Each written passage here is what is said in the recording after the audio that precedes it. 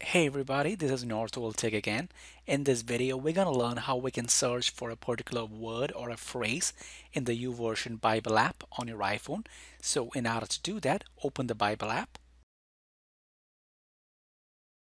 And at the very bottom, you will see several icons and you will also see a search icon, which looks like a magnifying glass.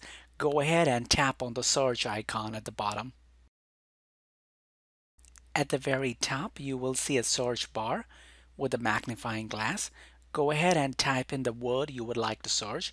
So in this example, I would like to search for the word wealth. So I'm going to type in wealth over there.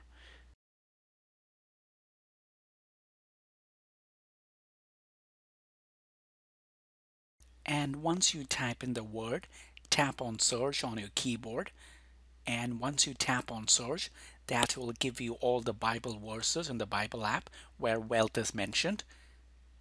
Now you can see that Ezekiel Job Proverbs and if you want to see more tap on more. And once you tap on more that will give you all the verses where the word wealth is mentioned in the Bible Alright, so that's how you search for a particular word or a phrase in the Bible app on your iPhone. Thank you so much guys for watching and if you have not yet subscribed to our YouTube channel, please subscribe to our YouTube channel because we create tech videos almost every day. And don't forget to visit our website northvilletech.com for great tech articles.